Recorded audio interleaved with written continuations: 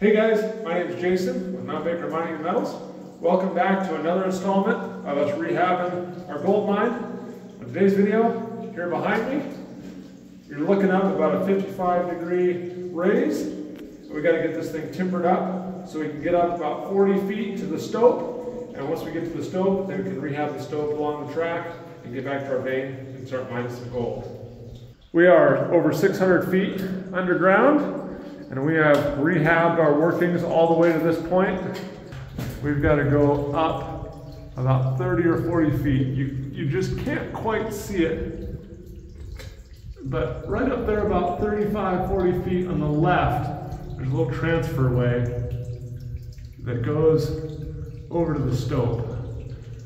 And our job today is to get this thing timbered up, get all this old airline and water line out of here, and make it so we can access the stope from our lower haulage way here. But first, I've run out of wood. I've done so much timbering in the mine that I've run out of wood and we've got that huge raise I got to timber up. And so we're down here on my property. I'm gonna go log off some more logs, bring them up to Fred the sawmill guy. We're gonna cut them into two by fours, four by fours, and some more lagging, and then we'll get that raise timbered up. And if you guys are really interested in this logging stuff, I have another channel. It's called S&J Forest Products. I'll leave a link in the description below so you guys can check that out if you're interested. While I'm out here, I've chosen some victims for today. So the first one we're gonna take is this one right here. This big tall, it's dead all the way to the top. There's no green on it at all. We lucked out because all the branches are on the side. I'm gonna drop it. I'm gonna bring it down. I'm gonna try and drop it right over here by that leaning birch right there. There's a few seedlings out there, but I think I can miss them. There's a pretty good stump right over here and a stump right over there. So I got to put it right down that site right there. Let's see if I can do it. This patch behind me is pretty much all spruce. I really, really like working with spruce up at the mine for a couple different reasons. One is really, really light. It's one of the lightest woods. It is also very, very strong. It's one of the strongest wood to weight ratios out there. That's why they built the spruce goose out of spruce. For those two reasons, it makes it really easy to work with underground. The third one is, uh, as I've been working with it, I can take, you know, half an inch or, or three quarters of an inch from the end of a two by four. I can screw a screw right in there and it doesn't split. It's got this interwoven kind of fiber into it. So it's really, really strong. It doesn't split. It's really, really light. It's easy to work with. And I have a bunch of it. And a lot of the stuff here behind me is dying. It's either dying or dead. And I think a lot of these spruce have died because of the drought. We're in a pretty bad drought right now. They're fairly wet, uh, tolerant plants. They really want to be in that moist, wet Pacific Northwest environment and it's just been so darn dry right now that I think it's killing all the spruce and the cedars going the same way. And because we're ecological green miners and loggers, I'm gonna take out some of these dead trees and cut them up for wood. I could leave them as habitat trees, but I need wood and they're dead anyway, so we're gonna take them. Well, it's on the ground. It was a little bit hung up in the branches this other one here, but I took a little roll off the stump on its way down. Wasn't a lot of holding wood left. There's that hanging birch, leaning birch. I got it right between the stumps, pretty much where I wanted it. It's a beautiful tree. Too bad it's dead.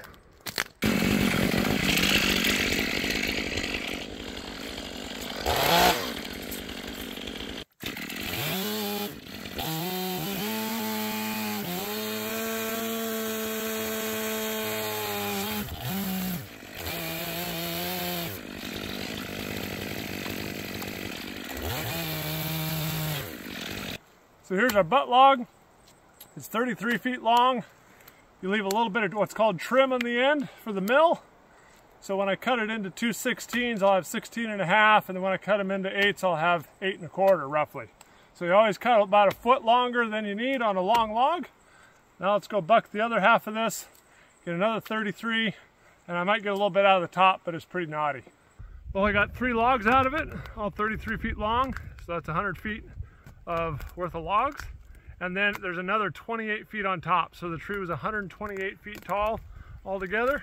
And I just counted the rings, it was 129 years old. So it had grown a foot a year, planted probably right around 1895 and 2003 was the year of its downfall, which is too bad. It was a beautiful tree, but now it's going to hold up the world underground. So now I got to drag it out of here, get it up to Fred's.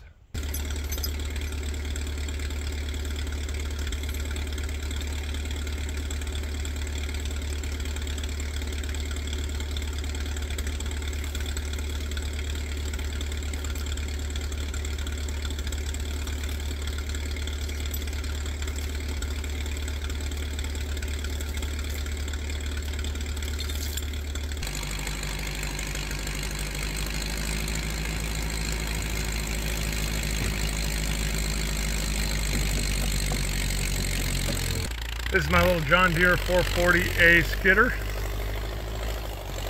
About a 1972 vintage, and it's got three chokers on it, so I can hook the chokers up to the logs and drag them out to the landing.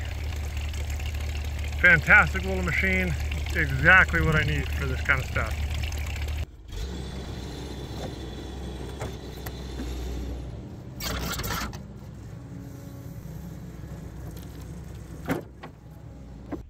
We're all loaded up here. We're getting ready to go. Get the strap down and up to Fred's. All right, Fred, what's your first uh, first thoughts on the log? I'm impressed. Yeah, they're good, huh? Very good.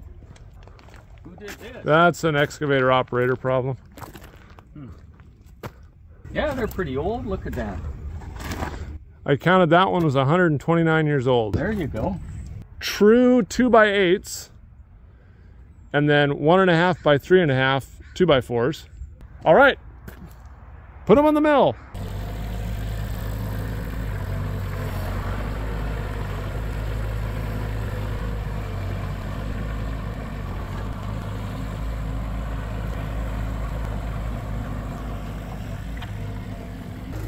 We're about to cut into this log. It's got a 17 inch top on it and it's 16 feet long.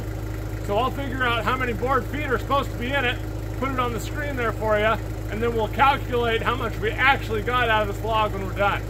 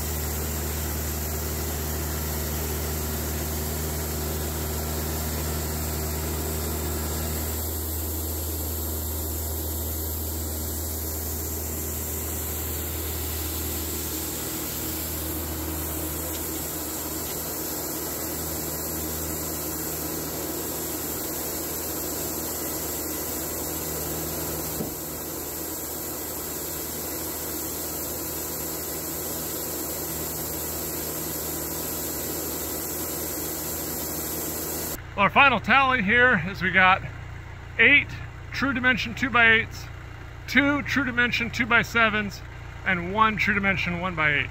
So I'll get all the math figured out, put it up on the screen, and we can compare scaling versus what we actually cut. And then here's our waste. You got the four flitches, a couple other little pieces. That'll all go to heat Fred's home in the winter. But that's a little bit of waste we got out of that one log. Here's our big boy up on the sawmill. This is that butt log.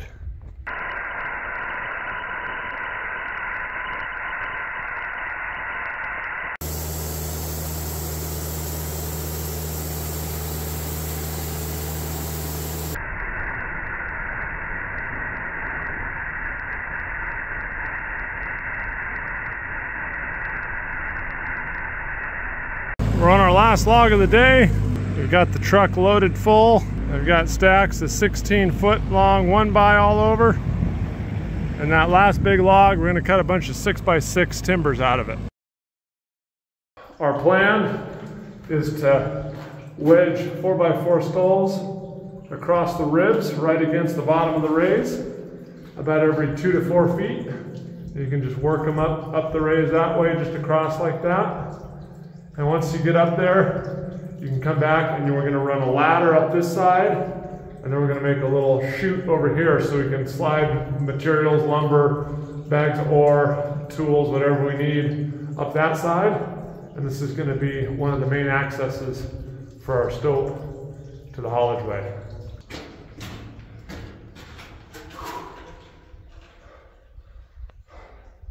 First thing I gotta do is get all our wood back here.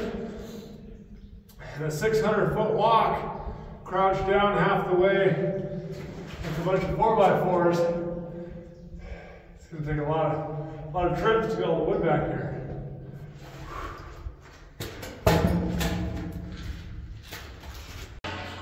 Well, we got everything we need. We got our wood, we got our tools, Milwaukee Sawzall and circular saw.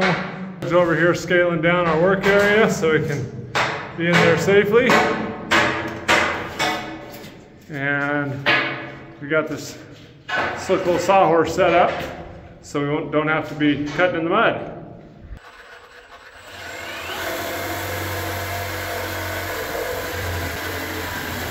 That works slick. Now we're gonna need a point on one end. So like 45, actually I'll show you the hitch. So here's the one hitch. That'll just be flat on this side. Okay. And then over here, we're gonna grab it right in this notch. Okay. And so it's, it's a pretty steep thing, but I, I can take it and I can, Okay. see what we're doing? And I can, I can take it and wedge it in here Okay. and wedge this side, because all the weight's gonna be pushing this way up the raise, right? Okay. I, first I had it in here and I was like, oh, that's all that weight's gonna be pushing it out. We wanna push it against the hitch and then wedge it in there. Okay. So it's gonna be 90 this way, but you want me to cut knot like a 30 degree off of this bottom part? Well, cut it, cut it kinda like a point. Okay. So, so maybe like a one inch space on the point, and then forty-five one side and forty-five the other side, and that should be able to get us in there. Opposite of a bird mouth. Got it. All right, so we can put that thing in.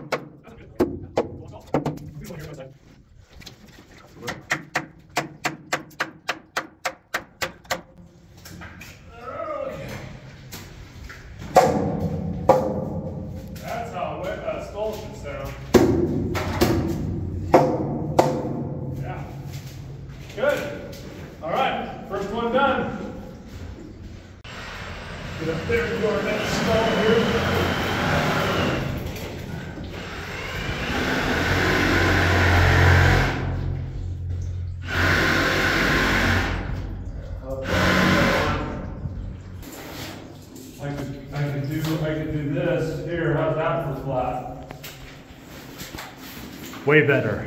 Yeah, that's perfect.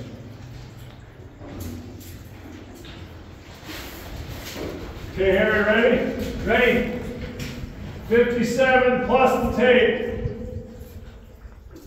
Fifty-nine and three eighths. 59 3 eighths. 90? Uh, yeah, to start.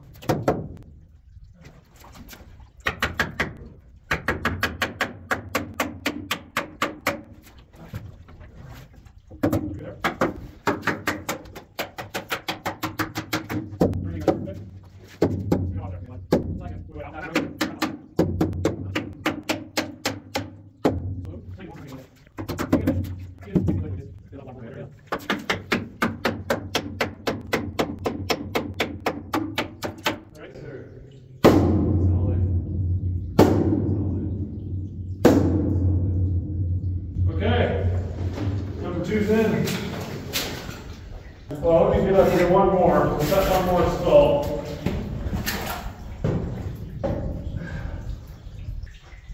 Fifty-nine and five eighths. Fifty-nine, five eighths. Square both ends. Got it.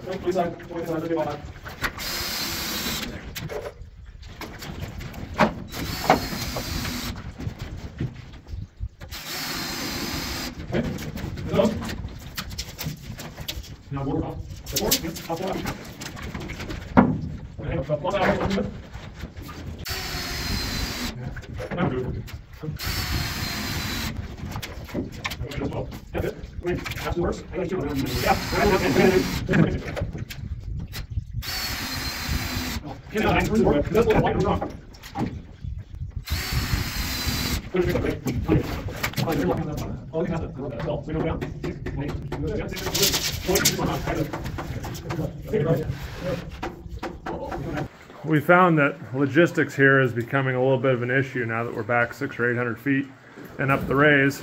So we're trying to come up with creative and more efficient ideas on how to get stuff back. And we got this whole pile of wood that's all got to go. That's just a small portion of it. So we're trying to lash to the wheelbarrow and one guy pull and one guy kind of push and stabilize the back. It's our first beta test. We'll see how this goes. But here's more wood. We got wood here. We got wood here. We got that pile of wood. It's all got to go back 600 feet and then up the raise.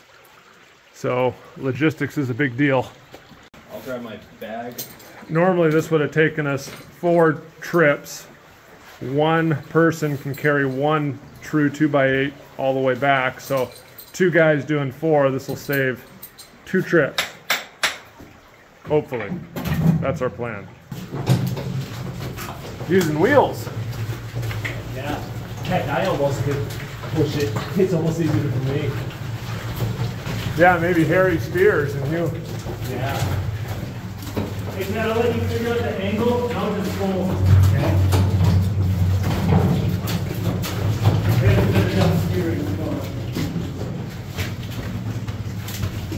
That's working.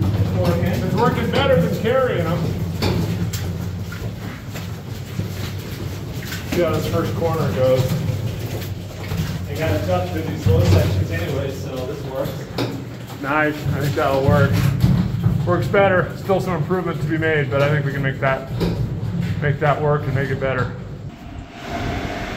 How many ladders do we have? Five? Yeah, that's number five right there. Five. So we're adding rungs to our fourth ladder. I've got our fifth one here. And then my light's kind of going dead on me, so I don't know what you'll be able to see here, but got some old ladders.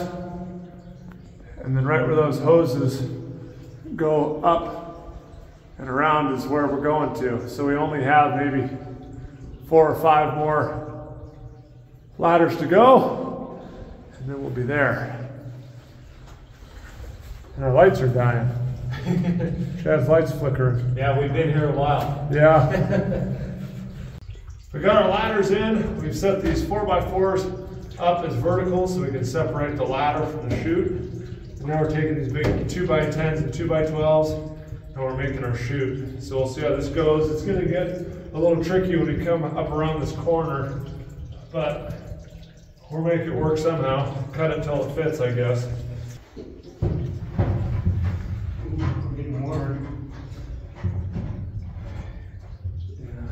Like, uh, I knocked off bottom of the board.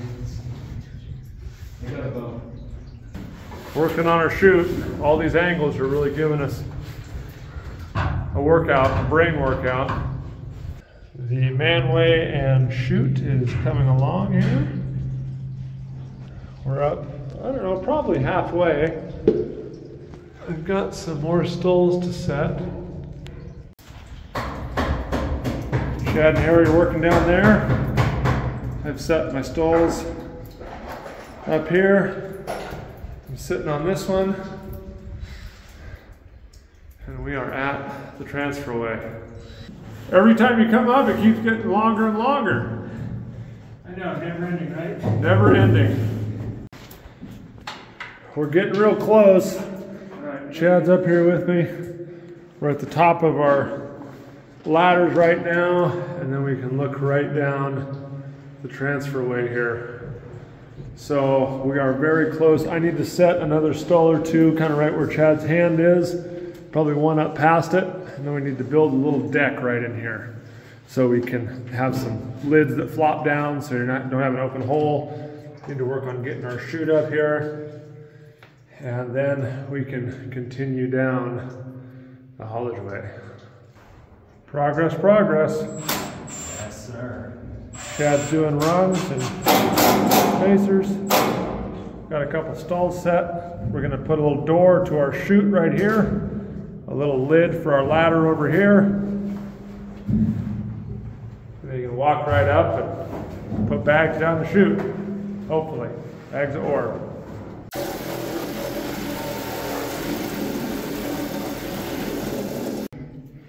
Got a? Dangle. Could cut and then make it flat. Or just, uh, Oh, I see what you're talking about.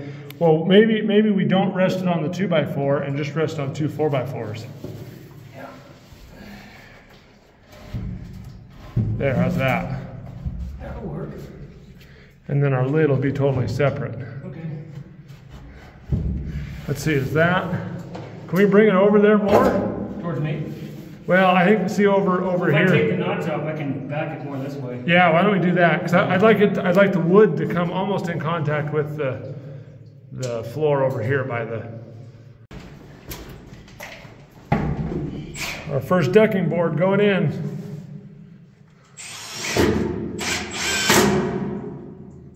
Nice.